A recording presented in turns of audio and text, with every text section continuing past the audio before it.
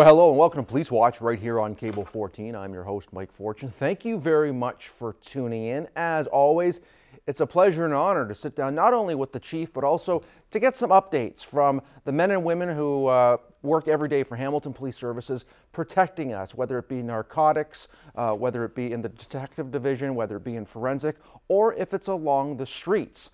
And that's going to bring us to Constable Chris McClure, who uh, took us on a little drive along to see what happens on the Hamilton streets on a daily basis.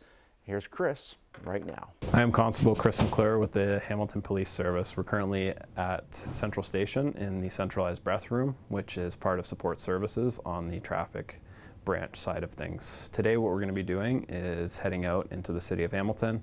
We're going to be doing some speed enforcement, looking for cell phone infractions, as well as any other Highway Traffic Act infractions. First thing we need to do though is gather our equipment, and as a breath tech and drug recognition evaluator, what I need to do at the start of the shift is ensure that the equipment that we're going to be using is functioning properly, which is the Intoxilyzer 8000C. Ensure it's calibrated properly, the diagnostic checks pass, as well as the alcohol screening device, because we don't get a lot of heads up before an impaired driver is arrested and brought in by patrol. They're also calibrated every two weeks by our another officer who's certified to do the calibrations, and the intoxilyzer is calibrated once a week. Before we go out and do our speed enforcement, we need to check the LiDAR and ensure that it is functioning properly, that is measuring speeds properly, as well as the distances. So right now we're gonna head out to um, do some enforcement, some speed enforcement in an area that is within the city limits, so it's a 50 kilometer an hour zone. It's, um, we get a lot of complaints in this area because there's a bike lane. It's heading towards the university as well as some elementary schools, and people will um, often be doing 20, 30, 40 kilometers over the speed limit.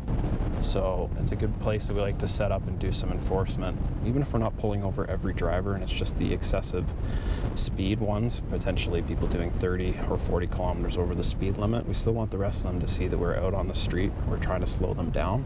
So the LiDAR can uh, target a vehicle. You can only target one vehicle at a time. So right now, as these vehicles are at, are at the bend. They're approximately 350 meters away that I am uh, targeting their speed.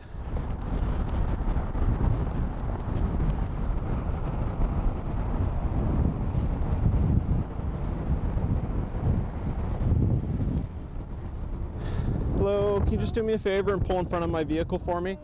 Thank you. In front, thank you. So this motorist is traveling 78 kilometers an hour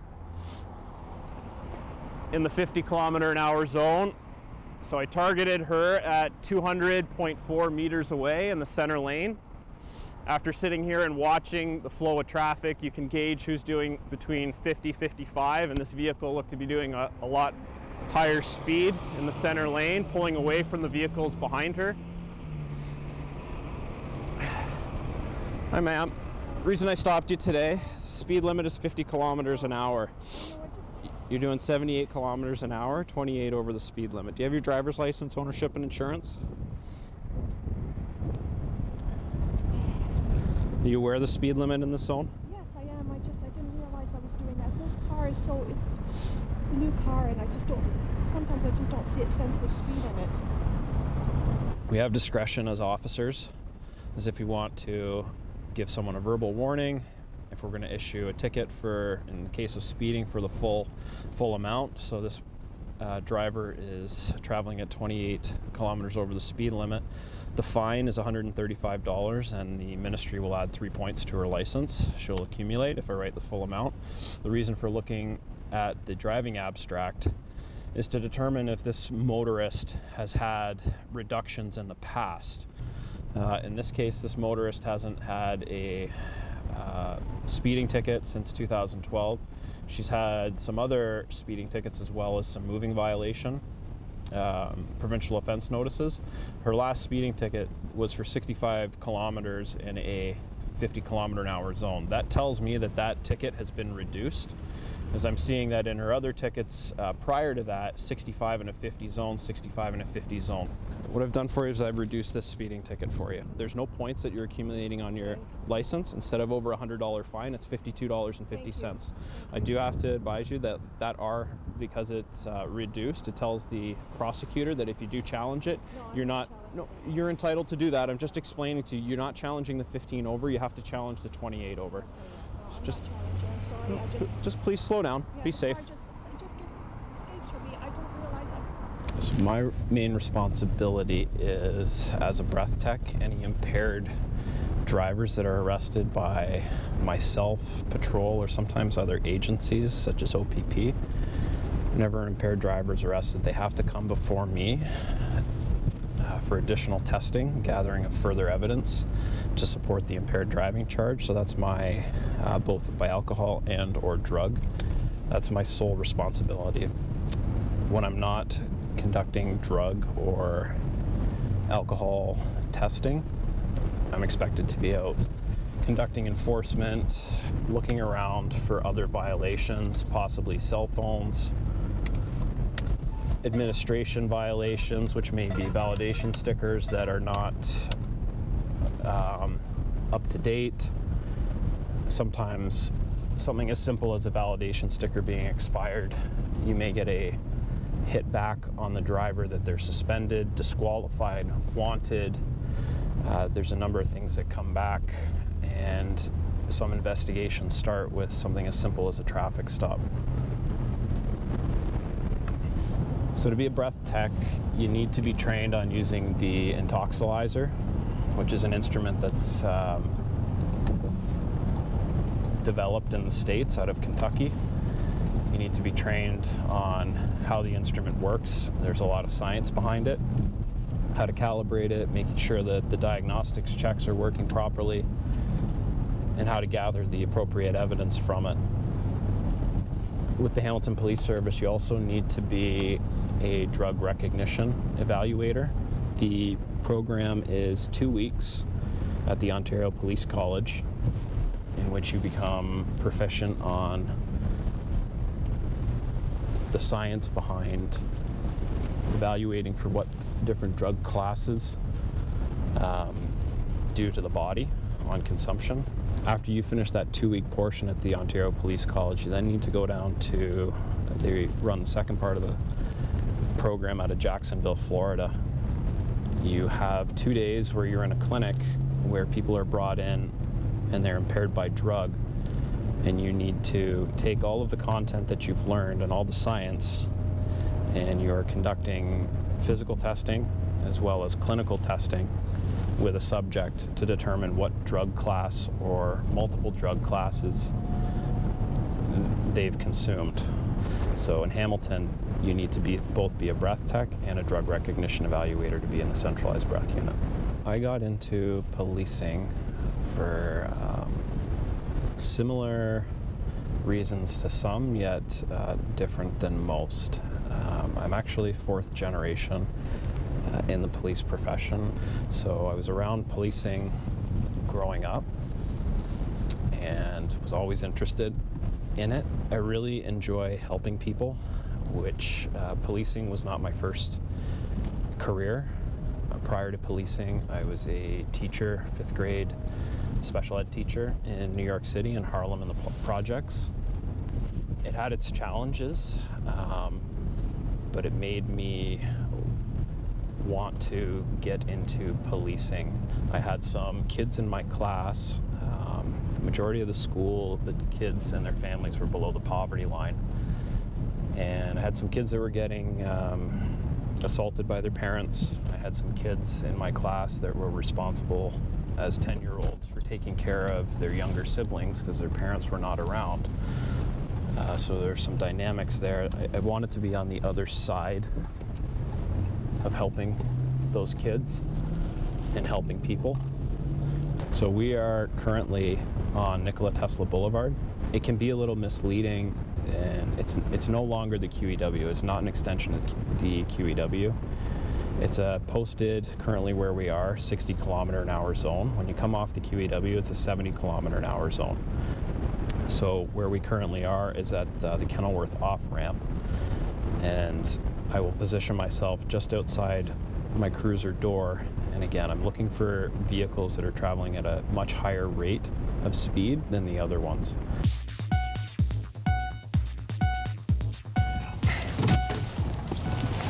Okay, so I need to make sure that I don't affect traffic when I pull back out.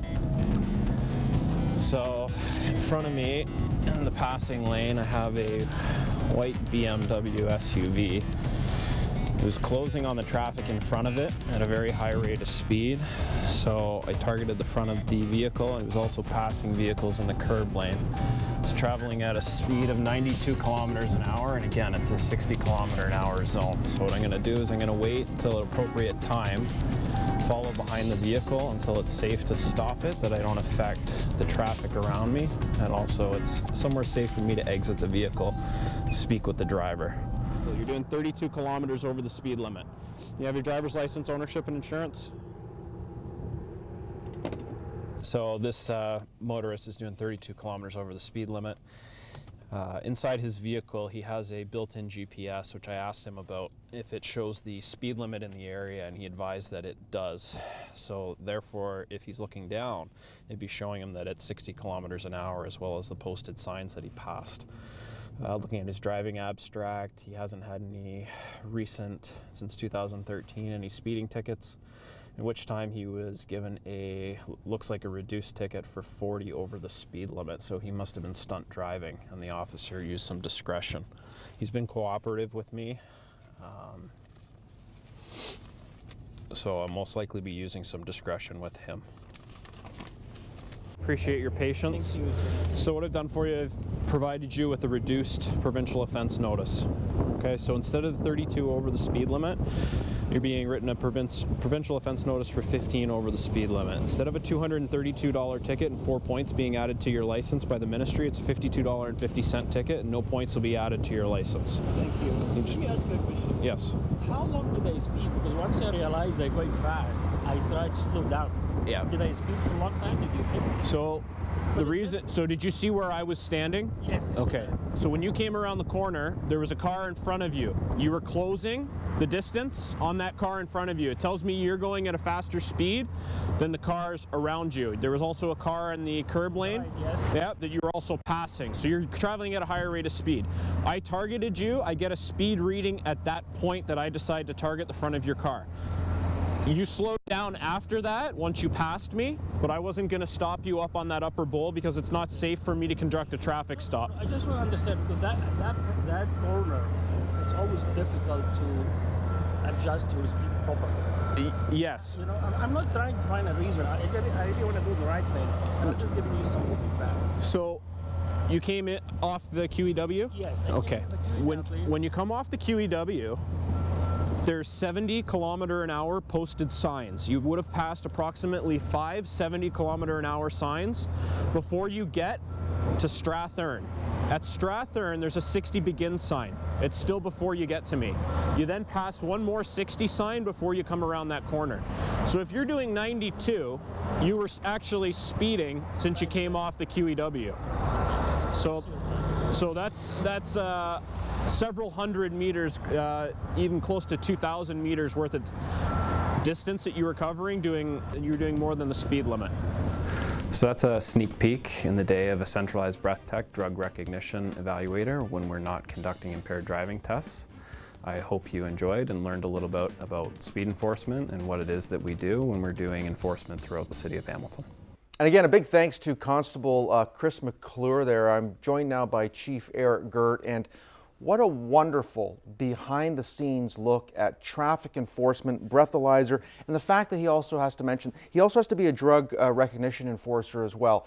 Uh, so articulate, well spoken, and the things that they have to look for and be aware of while they're traveling on the streets. And, and you used to do traffic yourself, so you're aware of all this. I did traffic and I was a breathalyzer technician as well. He's actually both a breathalyzer technician and a drug evaluation, or sorry, drug recognition evaluator.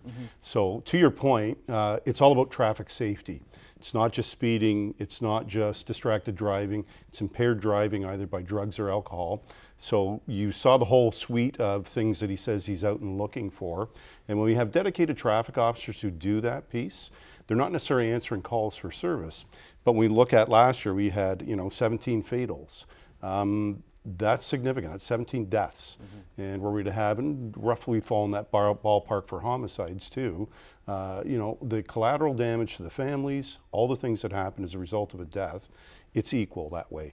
Uh, so whether now, obviously, death by violent means in a homicide has some other implications, but death by violent means in a vehicle collision also has. So it's important in terms of the traffic safety, road safety, and you can see Chris's level of articulation to the public about what he's doing. When he's asked and questioned about, you know, where did you first see me, he provides that answer. Um, he's polite and courteous, but he's factual. Uh, these are all, in my view, requirements to do that job because it can't just be, you know, driver's license ownership and insurance. You have to explain to the people why, why you were stopping them, what drew your attention in the first place. And he uses, you saw it, it's driving behavior. Then he turns the LiDAR equipment on, which is that uh, laser evaluation for speed. And then he provides what has happened. Then if it goes to court, that's fine. Mm-hmm. There shouldn't be any surprises because the person's been told. I think an explanation is so key because, as he also alluded to, it's up to his discretion. And if you're one of those drivers that start to get into the face of an officer, we've talked about this and, and, we've seen it, that's not helping your case at all. The facts are the facts. I got you on the gun right here. They are. And I mean, people are entitled to the opinions. I understand mm-hmm. that. But if we're looking at, you know, and the courts would consider this, does a person admit? Do they demonstrate remorse? And you don't have to. I'm not saying you have to. Uh, but, you know, weighs into the equation, and you saw him exercise his discretion. And that discretion has been established in the case law that officers are allowed to do that because we'll sometimes get, well, why don't you just give me the full amount? I'm exercising discretion. And in the interest of traffic safety, if I get compliance from the person and they slow down, that's what I'm aiming for. I'm also fascinated on how far out he can actually track you. I made a note here, up to 350 meters away. This, the one particular vehicle, I think was 205, give or take. So by the time you see your, the officer and a gun, there's no point in slamming on your brake. He's already has his eyes on you if, if you were the car that was targeted. And by slamming on your brakes or trying to slow down too quickly, you could potentially have an accident behind you as well. You said it. And just so you know, when uh, the equipment first came out, I know we went out to Dundas and we almost got a vehicle at a kilometer, but you have to have a large object. Mm-hmm. So the, the range he's talking 350 meters, but you can be up to 750 meters. That's three quarters of a kilometer. Mm-hmm. Uh, you would have to have a singular vehicle in the beam, but be able to properly identify it, and as I say, a larger object is easier to uh, target the system with. So uh, yes, great distance when we get um, just let's stay on the traffic things. I've seen some police media releases come through over the last little while. I'm not talking about specifics, but there's road rage that's still out there. There are the fail to remains. Um, any rhyme or reason with your long history of policing and what you see, what you hear, why these things kind of escalate, why people feel that they can get away and not stick around after, after doing something? Well, there's a number of reasons people will leave the scene, but you obviously are obligated to uh, stop, provide name, uh, insurance information, render assistance, um, those type of things. That doesn't mean you have to provide CPR, but if you're phoning 911, it's certainly helpful. Um, so I, I, can't step into the mind of somebody who panics and leaves. Sometimes they come back. Uh, sometimes they will try and uh, get the car repaired or otherwise. Um, and you can see in the latest cases that we're working with, often we will have video uh, often we will get a license plate, you know, sometimes it's stolen or it might not be. Um, there's other ways to do it. So you certainly don't want to be in the end of an interview uh, when somebody comes to knock on your door and then ends up seizing the property. Yeah, there's an investigation. Certainly doesn't, it's a compounding factor when you get to court. Relative to the driving behavior, that is quite complex. We've talked about it a lot. Mm-hmm. But I guess my comment would go to uh, when we are out at town halls, and that's whether I'm the chief or whether I was at division, when I'm on other uh, shows, uh, the leading issue that we deal with is traffic safety because most people are impacted by it, often in their own neighborhoods. So whether it's stop sign violations, red light tickets, you've talked about aggressive driving, speeding, distracted driving, we hear a lot about that. Um, there's a sentiment among the public that something needs to be done. As you know, we uh, were funded through the city to do enforcement on both the Red Hill and Lincoln Alexander, but predominantly Red Hill, but they're connected. Um, and we've seen the results of that, which in my view is reduction of accidents, reduction of personal injury accidents, and reduction in fatals. So it was a combined effort. There's engineering changes, there was uh, enforcement and education, but sometimes it requires the enforcement. You saw the reaction of the people here to get the message across. So we're still big on it. We have done enforcement for all our members throughout the service. Uh, but as you can see, the merits of a traffic uh, office that's dedicated to both the enforcement, the road rage, the distracted driving, and then really in many ways almost as serious uh, or more serious as the impaired driving. Of course, uh, and and that impaired can be either through alcohol or, as we've talked about so much lately, through through uh, drugs or other types of uh, cannabis and all that. Um, you touched on the year-end stats. Um, was that kind of a final number? Was there anything else that you kind of wanted to highlight there, Chief? Well, our, our enforcement has gone up uh, four and a half percent from okay. 2018. Uh, we had no alcohol-related fatal collisions in 2019. That versus yeah versus five in 2018. Okay, um, that's on the Red Hill, and uh, more impaired by drug charges in 2019 versus 2018. Mm. So we're up from 48 in 2018 to 61 in 2019. And I've talked about it. Yeah. Some of it is awareness from our officers because they're all uh, field sobriety test trained, uh, SFST. And then also, and you talked about, we've been using the drug uh, recognition evaluator for a number of years now and Chris talked about on the tape, they're both trained on the breathalyzer and the drug recognition evaluation, which is a very detailed course. And of course, they have to find out uh, what is the type of drug, establish that, be able to verify it. Uh, it's, it's very uh, extensive training for physiology, for uh, the physical effects, what they look for. Um, but we think it's important to invest in that because of the, the road safety and the traffic safety. So uh, yeah, they do a, a heck of a job. And we've also got the collision reconstruction unit, and you alluded to some failed to rain collisions. When we have a fatality or serious accident, that's who will do that investigation. Yeah, and, and again, though that is so detailed information too, and of course, everything that's going on at the, the uh, Red Hill Valley Parkway and all that, reconstruction and what's happening, but that's a whole other can of worms. Um, the completion of the investigative services building. Uh, this has been a long time coming. I know mm -hmm. Hamilton Police Services is very excited about this. Talk to us about this, Chief. Yeah, so really, if you, you put it in a nutshell, we moved from labs that were originally designed in the 1970s. of course, we've made amendments and changes to assist with the continuity because you have to establish uh, continuity in court for any exhibit you handle. To really best practice right now is four labs um, one for the victim, one for the accused, one for the scene, and an extra lab, depending on what you're uh, working on. Uh, high uh, requirements in terms of the HVAC, uh, ensuring that the environment is pristine, that you don't have cross-contamination. But again, forensics is one of the centerpieces in the investigative services building, but it's all of investigative services. So for example, we had an opportunity in designing this particular building to consider the needs of survivors and victims coming in for interviews, whether it's sexual assault or child abuse, uh, so that they're not kind of walking through the main corridor. And if you've been to Central, uh, it's you know wide variety of people there for um, different reasons. Some could be vulnerable screening, screening checks, or getting property back, whatever. So we've been conscious of that in the design, and also uh, certainly for tech crime, when you look at the proliferation of digital evidence now. And you know, in 10 years, I don't even know how large it'll get. It's huge currently. I've talked about a digital tsunami previously. We have to handle and download all those exhibits. The bonus for us is, and you can see it, whether it's video evidence from a stationary video, phone evidence, or other electronic evidence, it really assists us in the investigation. So proper handling of that, um, ensuring the device is not uh, affected by some external source, all the requirements to do that and then actually analyze the data. it's becoming significant and that will also be done within that building. So we're really excited. It's on track, probably April or May this year. That's only a couple months behind schedule, and you get that with any project. But currently we're on budget, and currently we're within about three months of the original anticipated completion time. And, and then once finally opening, obviously this is going to be state of the art. Um, what are some of the key features that you can touch upon? I know you talked about the layout and, and, and so on and so forth. Are there any key features you can touch on or at least let us know that uh, you're not letting the cat out of the bag? Well, no, and, and really it's more about the architecture okay. and how it fits into the workflow within any work environment. So we've been cognizant about the synergies within that building, who works together, what is the flow of information, the handling of exhibits, uh, security, as I say, um, certainly how uh, victims and survivors are interviewed, um, transport of accused persons, how does that work? There's quite a bit that goes into the building that the public may or may not see. Um, but largely, it, really is moving it forward to see how can we work better within the work environment.